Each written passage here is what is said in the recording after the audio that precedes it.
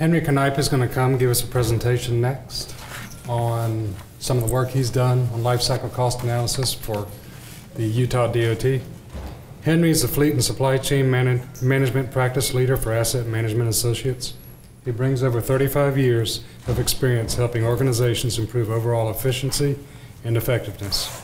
His professional background includes over 16 years of experience providing fleet and management consulting services, including two years in the asset management software industry. Prior to becoming a consultant, Mr. Knipe spent 20 years directing commercial trucking operations, including eight years as a trucking industry executive, including in the city where I grew up, Charleston. Henry has performed near, nearly 50 public sector consulting engagements that have included working with over 15 state DOTs. Major fleet engagements include the North Carolina, Virginia, Texas, and Utah DOTs, as well as a number of transit agencies, cities, counties, fire, and water authorities, and airports. Henry has an MBA degree from the University of North Carolina, Greensboro, and is a longtime participant in TRB and its programs, having participated in a number participated in a number of projects through the various TRB research programs. Everybody, let's welcome Henry Knipe.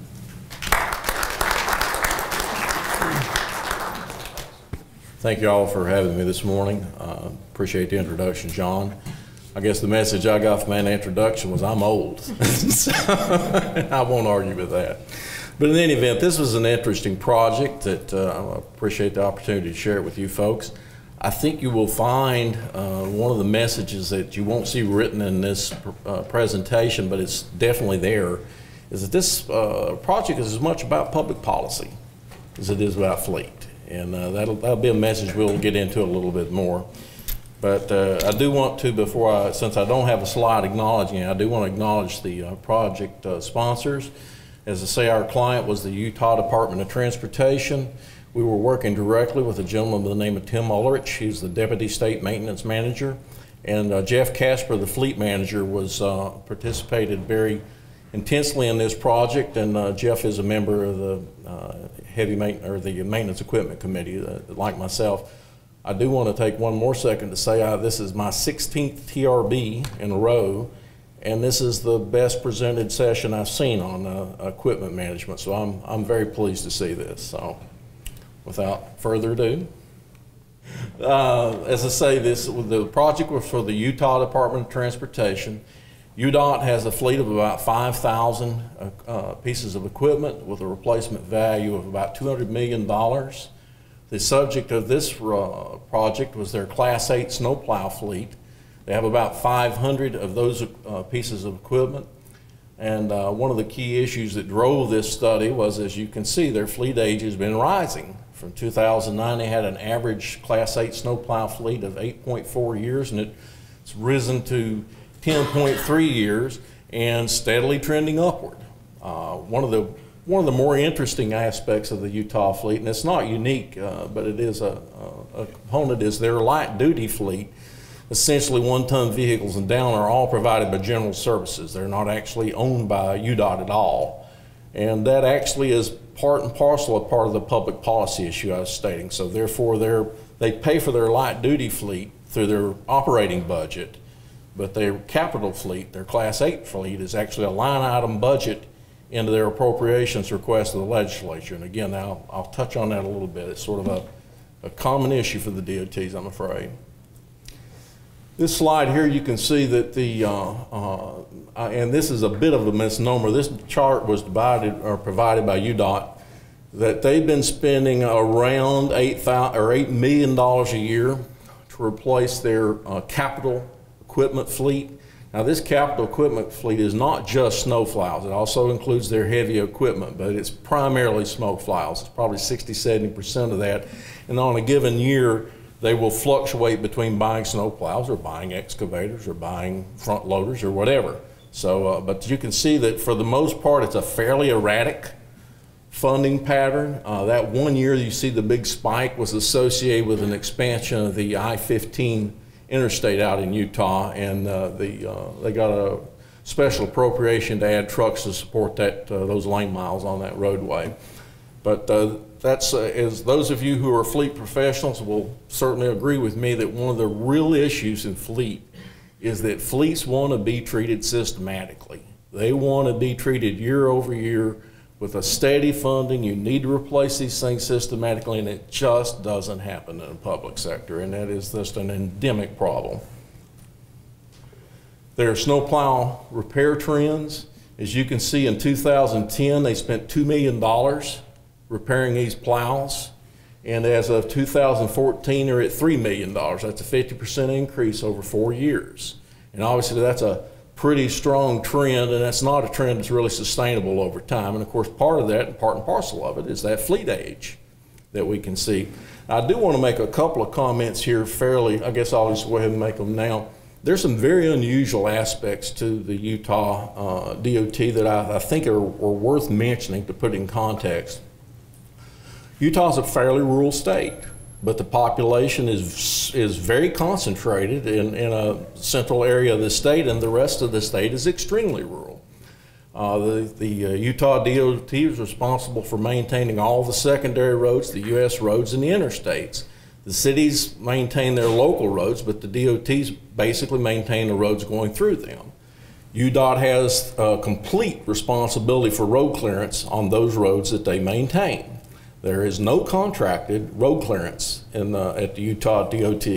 And conversely, and this is the most important point, I think, is that the state of Utah constrains UDOT from performing any summer maintenance projects of over $150,000 per project. So effectively, if you put those things together, effectively the operational scenario is you've got complete responsibility for keeping the roads clear in Utah Yet, you've got nothing to do with those trucks in the summertime because $150,000 won't patch a pothole. So, though you got a very conflicting set of operational uh, constraints uh, that the Utah DOT is operating in, and it's really part and parcel of this, this fleet study. Uh, for those of you who are operational people, since this is a snow maintenance committee, should be knowing that essentially the guys who are pushing the snow in the wintertime are doing construction inspection in the summer. So they, they completely switch those jobs. So that's part and parcel of the, the message here and, and what uh, this project was about. This project came in, there was six tasks that were essentially asking three questions. When should UDOT replace its Class 8 snowplow trucks? What kind of funding would need to be uh, in place in order to achieve that replacement target?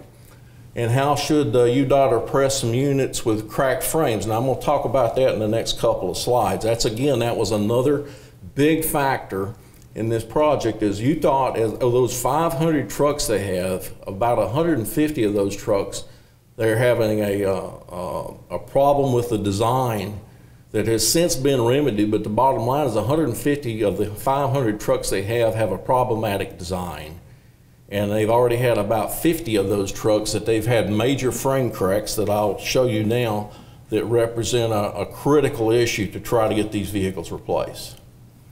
This slide here, if you can try to get oriented, what you're looking at is the frame rail right behind the truck uh, uh, chassis or right behind the truck cab. And as you can see, that dark crack running uh, linearly or horizontally is literally, that's the frame rail. It's got a major crack right through that thing. And just to put it in perspective, I have a slide later. I mean, that's a, that's a truck killer. I mean, there's hardly any circumstance that you can do anything with that truck that's a long-term fix except get rid of it. And, and that was, again, that was a major factor why that Utah funded this study. Here's a side view of that same truck.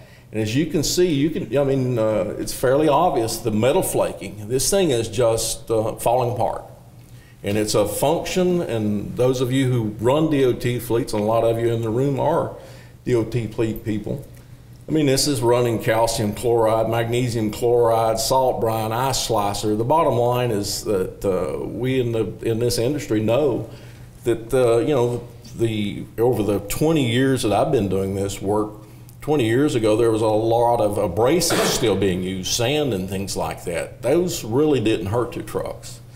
But over the last 20 years, DOTs have moved to a black roads operation. They want to, people want to drive on clear roads, and the move to clear roads has meant chemicals. And the move to chemicals has really not been factored in a lot of the fleet uh, planning. It was, there was, uh, really wasn't completely known when they started switching these chemicals, what it was going to do to these trucks, but as you can see, it's really creating havoc. And I know some of the folks in the room here on some of the corrosion committees and so on and so forth, and, and the reality is that somewhere or another that the DOTs have got to inform the public that if we're going to keep a black road roadway as a standard for winter operations, that it essentially means that the trucks and the vehicles and the equipment you use to maintain those black roads are disposables, consumables, because they're just getting eaten alive. Simple as that. The work plan on this project, we did a literature review, we developed a life cycle model, we identified the year-over-year plans, and when we restrict, uh, recommended the strategy for dealing with those cracked frames that I just showed over the last couple of slides. And I'm not going to keep you in suspense. We recommended nine years as the target age for replacing the, uh, their uh, snowplow fleet, which is a very aggressive age. But part of that, I'll, I'll acknowledge right up front, we're writing to the state legislature. We needed to deliver a simple message, a clear message, a message that didn't take a whole lot of interpretation this nine years age was reflective of the fact that we had 150 trucks that at any given point in time are highly problematic. So this is right on the leading edge of what we could support because we felt like we got to get these trucks out of the fleet. So that was part and parcel of this recommendation. We also recommended, and this is actually came out of one of the um, best practices in winter maintenance uh, publication a year or so ago. Uh, we recommended implementing a points-based equipment evaluation system on these snowplow trucks. Essentially what we're recommended to UDOT was a three-pronged approach to replacing their equipment. Age is one factor, mileage is one factor, and condition is one factor. And frankly, in the UDOT fleet, age and condition is much more important than mileage because, as I said, there you have such a constrained operating use for this equipment that at 10 years, they typically have about 130,000 miles on these vehicles. These are $225,000 per unit in the field vehicles, and they're only running them about six months a year, and they're only putting about 8,000 miles a year. But again, this is what I said the public policy part of this. I'm not taking a position one way or the other. I'm just simply saying the impact of implementing that public policy has impacts, and this is part of those impacts. We recommended a five-year funding plan that would allow them to achieve that target uh, average fleet age of 4.5 years. That's half of the nine-year standard. That's what you would expect your average fleet to be, age to be. And we suggested they prior, prioritize the replacement of those trucks with cracking frame issues. That didn't take a rocket scientist to figure that out. But uh, uh, the, the net of it was it was part of a report that I'll uh, that was provided to the state legislature as part of their their annual budget uh, request process. Details on these recommendations. The life cycle model, I, have I've heard a lot smarter people than me over the last couple of days uh, uh, demonstrate various research on life cycle approaches and various approaches to uh, fleet replacement. This is simply an implementation of those models. Uh, we, we looked at their PM and repair costs, we looked at their capital, capital cost, and then we came up with a total asset cost curve.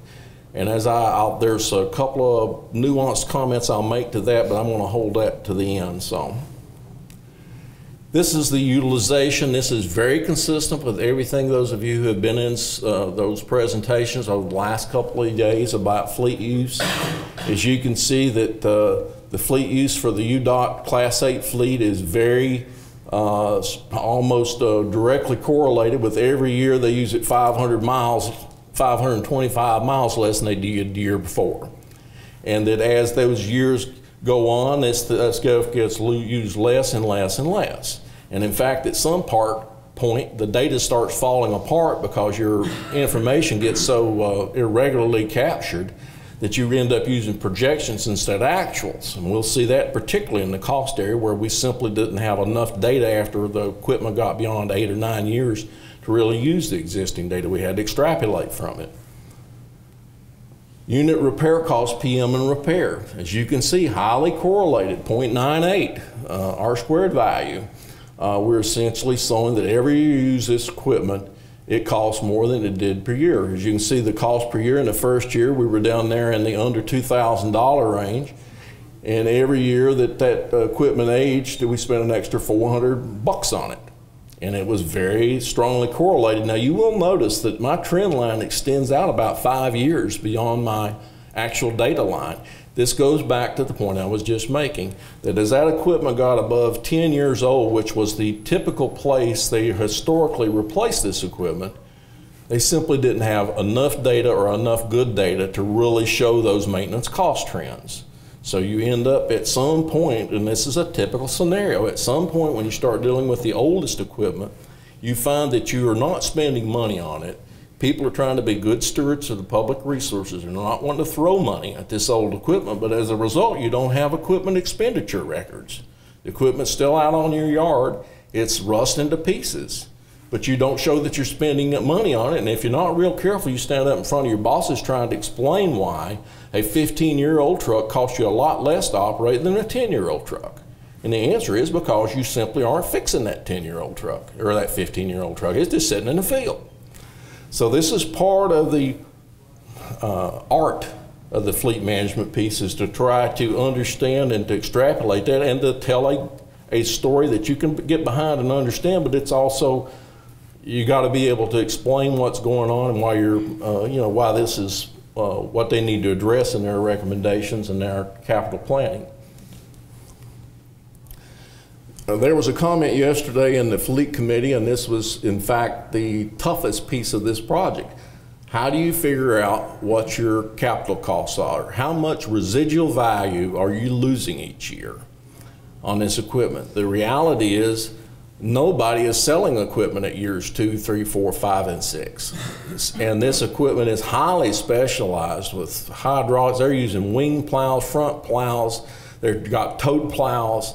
These trucks weigh on average two to 3,000 pounds than their commercial class eight dumps that are doing it working in the construction industry. So the residual value or the aftermarket uh, is almost non-existent for these trucks.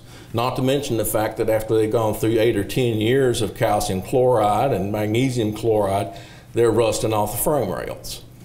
So you put it together, and the bottom line is that the uh, actual sales records we had showed that on average, UDOT was getting $8,500 at year 10 for a truck that cost $225,000 to field.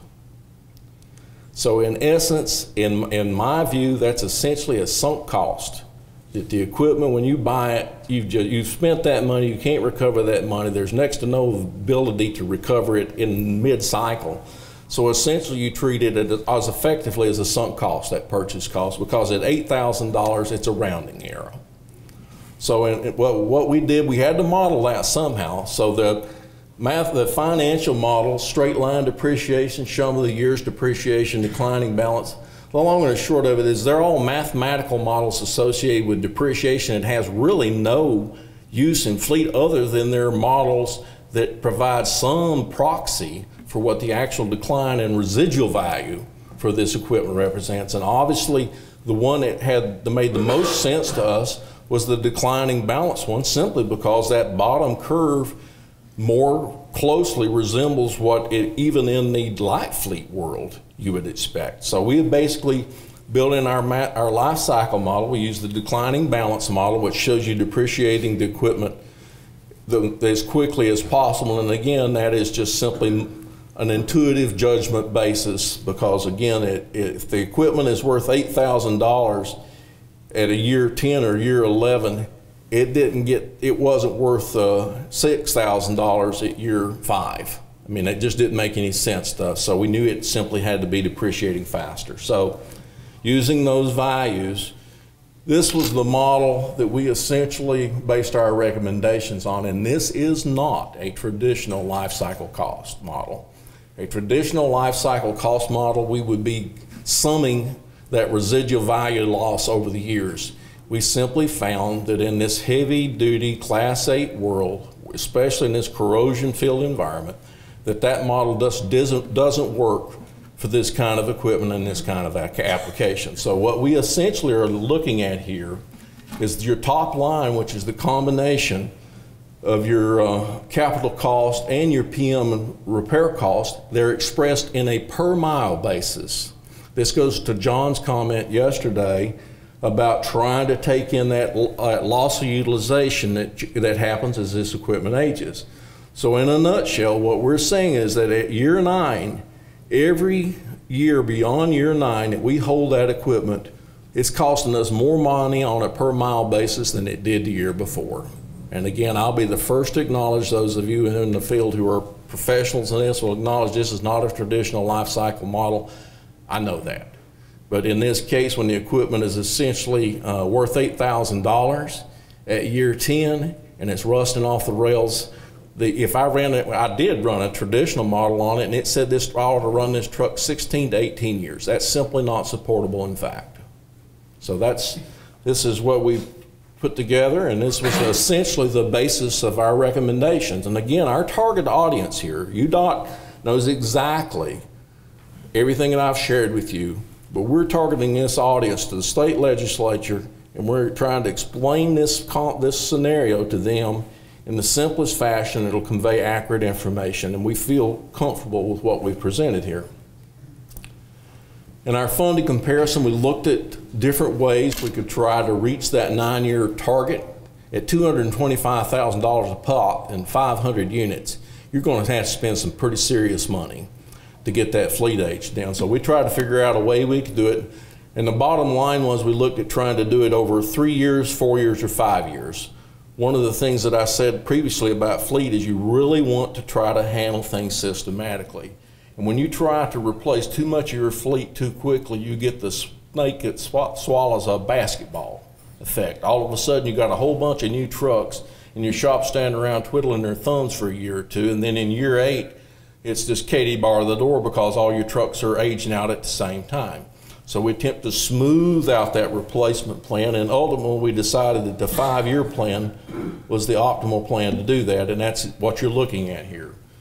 That by in a, the five-year plan, by replacing, uh, if we follow that model, that in in five years we'll get our average fleet age down to about uh, uh, the target of nine years average age. But you can see that up there the, that we're spending a, a, a, lot of money. You know, we're spending in that first year, it was 11, 12, 14, 20, or 14, 13, et cetera. That's, again, that's roughly double, not, not exactly because I'm looking at mobile years, but bottom line we're saying they're going to have to double their fleet expenditures to try to do this. And keep in mind, we're only talking one class of equipment. Their Class 8 trucks. That's ignoring the rest of their fleet. And I mean, that's, that's part of the message I think that the fleet managers in this room will echo is that, you know, you're trying to do this and do everything else, and what a challenge it is in this physical environment. The frame repair options, as I said, the key thing to start with was if the truck's only worth $8,000, if I don't have a cracked frame, and I do have a cracked frame, what do I do with it?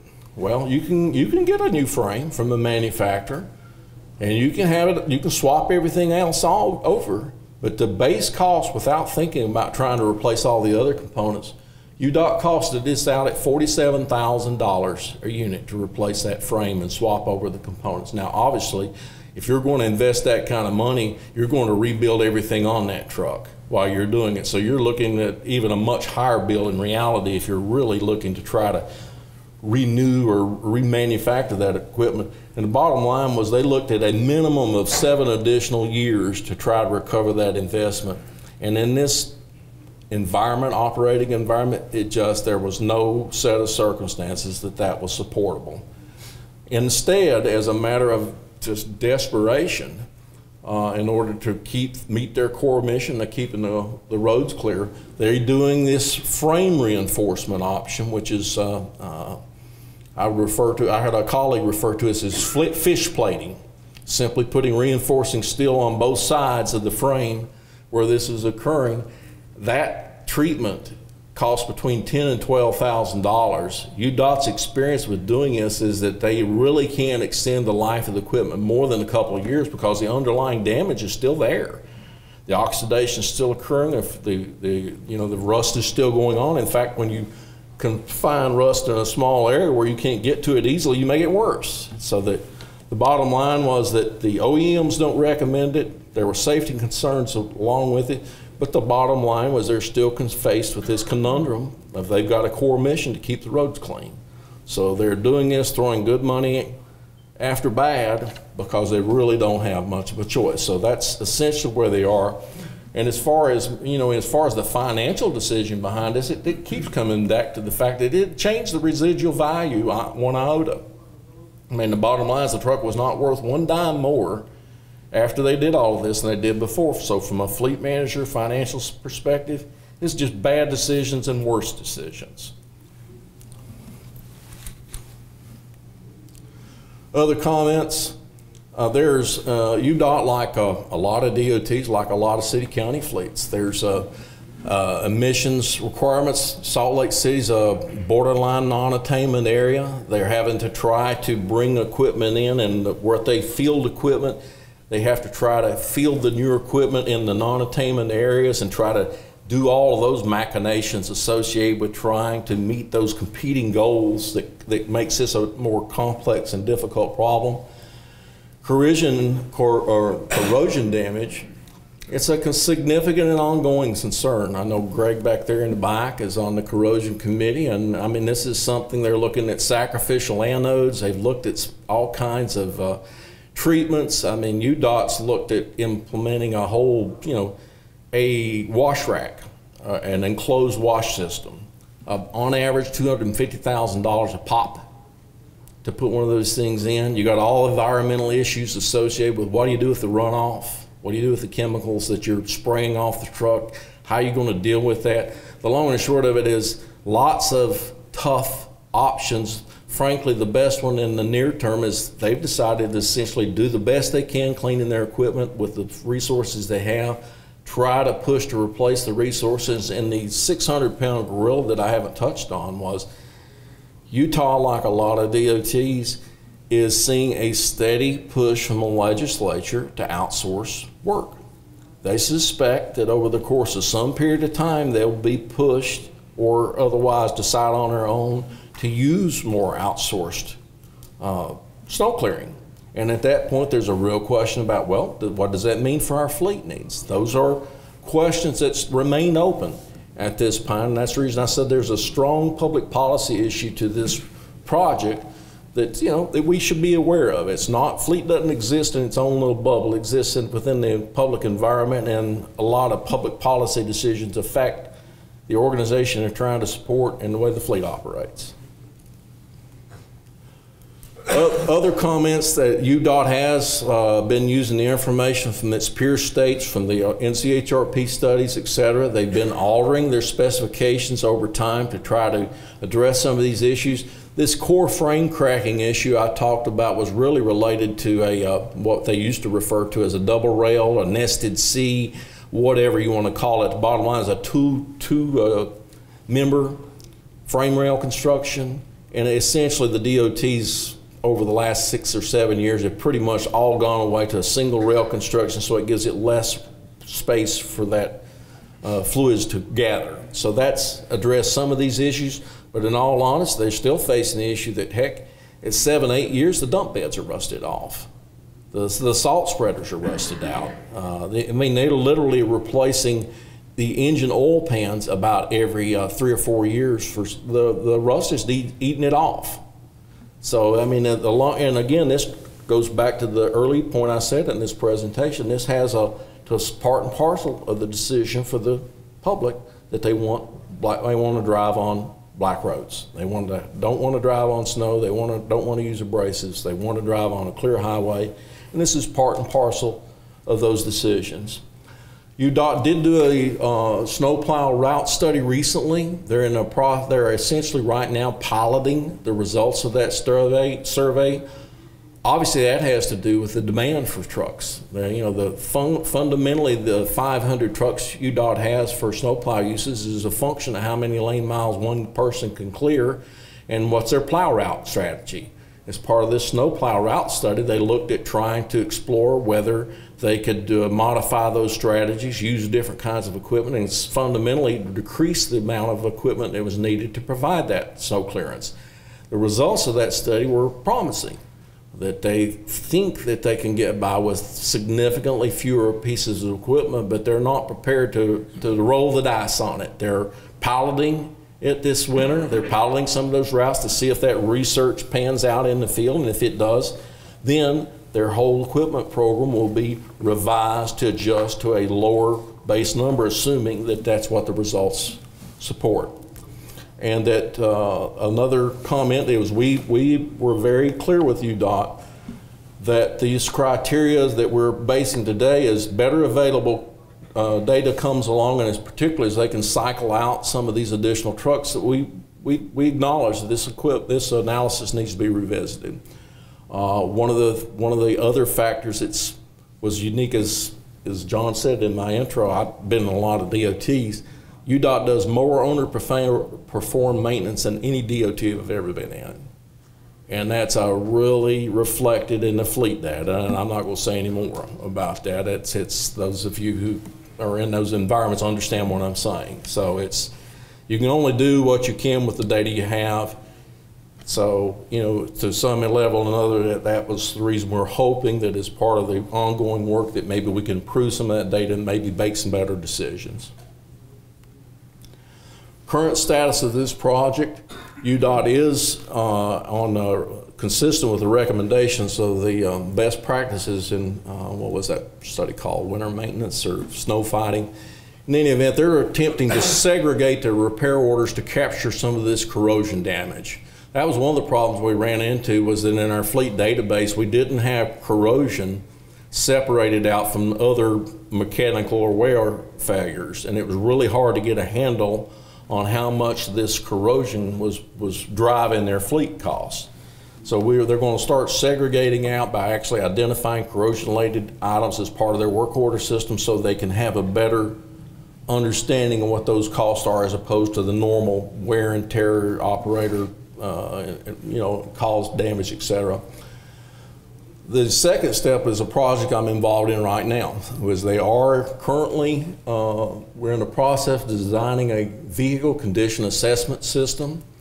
We're, on, we're focusing on the Class 8 fleet right now. It will actually be part of their annual vehicle and maintenance uh, service, what they call a B inspection. We're putting together a manual and an entire program where they literally have pictures of what an A piece of equipment, what an A door looks like, what an A firewall, a B, a C, a D, and an F. And essentially, after everything's said and done, they're going to evaluate that piece of equipment for both wear and corrosion, and we're going to assign a point score to that. That point score will be part of that three pronged approach that, that we talked about of age and mileage and condition in order to essentially do two or three things. It'll help us triage and figure out what priority to try to uh, replace this equipment and the question of where do I spend my next dollar? Do I, do I replace this truck or that truck? You need some kind of objective basis to try to do that, especially when you're in a situation where you never replace everything you want to, and you really need to have some kind of hierarchical approach to do that. So that'll be part of that. Part of that information will also be used to help support their annual budget request we're going to show that this legislature that we have this much. Let's face it, the, the reality is this corrosion damage, you don't fix it until you have to. But you need to understand what amount of pin up maintenance demand you've got out there. So, in this case, for instance, we hope to be able to show over time that last year, because you didn't fund our requested uh, amount, that last year we had a $11 million worth of defer, deferred maintenance on these Class 8 trucks. This year it climbed to 13, and here's how we came up with that number. From our condition inspe uh, inspection system, we were able to extrapolate those costs. We can show that by not spending capital monies, we're increasing maintenance expenditures and we're getting deeper and deeper in the hole. It's part and parcel of telling your message, which is, frankly, that to me, that's one of the most important jobs a fleet manager has is he's got to be able to tell his message and if he's going to get, uh, get the job done. The, uh, the other part of this thing is the sad part of this story is that this, uh, this report, which we were, uh, we felt like was a good product and that, that uh, UDOT took it to the legislature, well, it's just got stalled in the legislature with a whole lot of other things going on and where the public policy issue comes in. And the, maybe the most, the point that I didn't raise was UDOT is not asking the legislature to put one dime of money in this. All UDOT is asking is for the ability to spend their money. This is not where they're asking the legislature to set aside additional funding. Is simply saying, can I spend more money on equipment? So that's all we're really talking about here. And the reality is, UDOT had some additional fuel tax raise. The legislature promptly set a big chunk of that money aside for outside contracting and said UDOT can't spend it internally. So that's, that's why I said this is a, this is a study about public policy. So anyway, that's it. Uh, any questions or comments? Yeah, Henry, you said that the crews were performing a lot of the preventative maintenance work. Are you capturing that data in the? It is, Bruce, but I'll be honest, uh, I don't think it would shock you that I'm highly suspect of that data. I see, uh, frankly, I see PMs costing the same for every piece of equipment. So, you know, it's just being pencil whipped. Any other questions? Thank you for your time.